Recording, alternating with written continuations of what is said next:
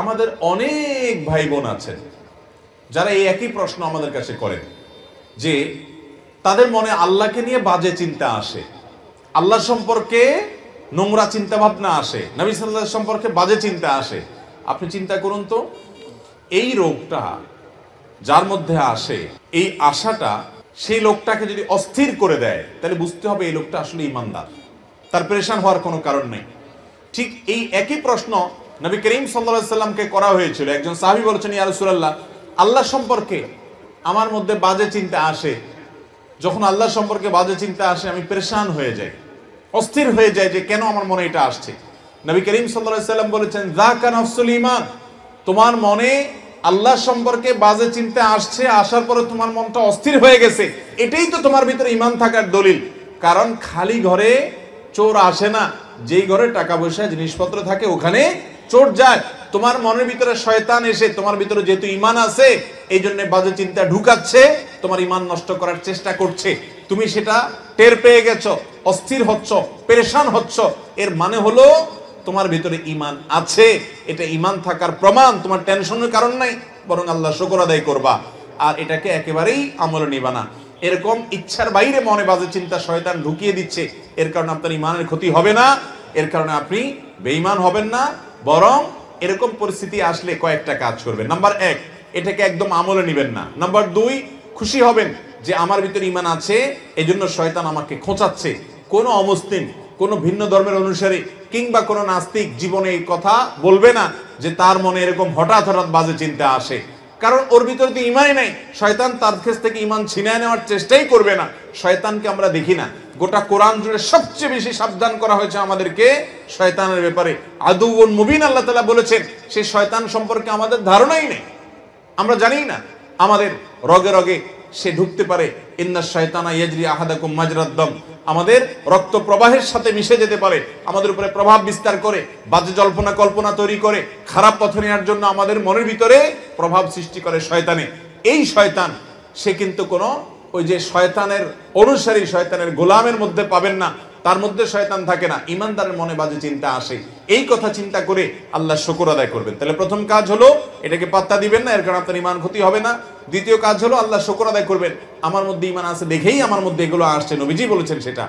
Number তিন, এরকম বাজে চিন্তা আসলে আমন্তু বিল্লাহি ওয়া এটা পড়বেন। আমন্তু বিল্লাহি ওয়া আমি আল্লাহ এবং তার রাসূলের প্রতি ইমান আনলাম।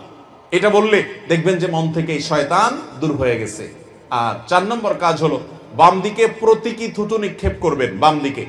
কারণ এ জাতীয় শয়তান মনের ভিতর যে অশ্বাসা দেয়, এটা সাধারণত বাম পাশ থেকে অ্যাটাক করে, আক্রমণ করে।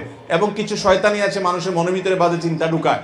এই জাতীয় শয়তান থেকে পানা চাওয়ার জন্য বাম দিকে থুতু থুতু করে এরকম তিনবার ফেলবেন, থুতু ফেলবেন না জাস্ট প্রতীকী থুতু। তাহলে এই কাজগুলো যদি করেন, সেই সাথে আল্লাহর কাছে সবসময় পানা চাইবেন, ভাইরা আমার আমরা এমন একটা সময় আছি, আখিরি জমানা, চতুর্দিক থেকে ফিতনা ইমান ধরে রাখা, জ্বলন্ত কয়লা হাতে রাখার চাইতে কঠিন হবে। সেরকম একটা সময় আমরা অনেকটা পার করছি ভাইরা এক একভাবে এক একজনের ইমান নষ্ট হয়ে যাবে। কত মানুষ কত জায়গায় ইমানকে বিলিয়ে চলে আসবে। কেউ খেলার নামে, কেউ সম্পদ আহরণের নামে, কেউ নিজের ভোগ বিলাসের নামে এক একজন এক একটার নামে ইমানকে শেষ করে দিয়ে আসবে, সে টেরও পাবে না। ইউসবিহুর রাজুল মুমিনা ওয়ায়ুমসি কাফেরা। সকালবেলা ইমানদার থাকবে, সন্ধ্যায় বেঈমান হয়ে যাবে। আওয়ুমসি মুমিনা ওয়ায়ুসবিহু কাফেরা। সন্ধ্যায় ইমানদার থাকবে, সকালে বেঈমান হয়ে যাবে, টেরও পাবে না। কচুর পাতার পানির মতো হয়ে যাবে ইমান জ্বলন্ত কয়লা রাখা, যত কষ্টের হবে ইমানের উপরে টিকা তত কঠিন হবে। এরকম জটিল একটা পরিস্থিতির মধ্যে আমরা আছি। আমাদের ছেলে মেয়েরা তাদের জন্য ভবিষ্যৎটা আরও কঠিন হয়তো হবে। তো এই জন্য আল্লাহর কাছে ভাই, চোখের পানি ফেলে পানা চাইতে হবে। আল্লাহ, আপনি আমাকে হেফাজত করেন। একটি দোয়া নামাজের শেষ বৈঠকে সবসময় পড়বেন ভাই। নবী করিম সাল্লাল্লাহু সাল্লাম পড়তেন খুব গুরুত্বের সাথে। দোয়ায় মাসুরার জায়গায় আল্লাহ মান্নি জলাম তো নাফসি জুলমান কাথিরা যেটা আমরা পড়ি, এটাও হাদিসে আছে। এটার জায়গায় মাঝে মধ্যে ওই দোয়াটাও পড়বেন। এটার জায়গায় ওইটা পড়বেন মাঝে মধ্যে। নবী আলাইহি সাল্লাম পড়তেন, আল্লাহুম্মা ইন্নী আউযু বিকা মিন ফিতনাতি মিন আযাবিল কবর। আল্লাহ ইন্নী আউযু বিকা মিন আযাবি জাহান্নাম।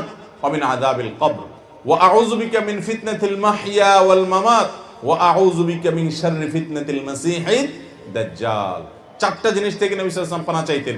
জাহান্নাম থেকে পানা চাইতেন, কবরের আযাব থেকে পানা চাইতেন, জীবন এবং মরণের ফেতনা থেকে, দুনিয়াতে যত রকমের ফেতনা আছে, এই যে মনের ভিতরে বাজে চিন্তা ঢুকাচ্ছে, শয়তান একটা ফেতনা, এই ফেতনা থেকে পানা চাইতেন। অনেকে অনেক কিছুর নামে ইমান হারা হয়ে যাবে, সেটারও পাবে না। ইমানের চেতনা হারা হয়ে যাবে অনেকে। এবং দাজ্জালে ফেতনা থেকে পানা চাইব। অতএব সর্বশেষ আমল হলো আল্লাহর কাছে পানা চাইব বেশি বেশি করি। আবারও বলছি আল্লাহকে নিয়ে বাজে চিন্তা আসছে।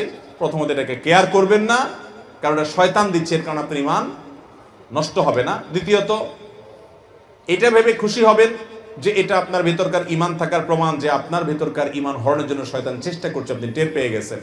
নবী সাল্লাহ সাল্লাম এর হাদিস অনুযায়ী জাকা নফসুল ইমান এটাই ইমানের আলামত। অতএব আপনি এটা ভেবে খুশি হবেন। দেখবেন শয়তান দৌড়ের উপরে থাকবে। নাম্বার তিন এরকম জল্পনা কল্পনা আসলে আমান্ত বিল্লাহি ওয়া রাসূলি পড়ে ইমানকে নবায়ন করে ফেলবেন সাথে সাথে। নাম্বার চার, বাম দিকে থুতু প্রতীকী দিকে নিক্ষেপ- নিক্ষেপ করবেন। আর পাঁচ নম্বর হলো আল্লাহ কাছে পানা চাইবেন। আল্লাহ তালা আমাদেরকে আখেরি জামানার বহুবিধ ফিতনার মধ্যে আমাদের ইমানগুলোকে হেফাজত করার তৌফিক দান করুন।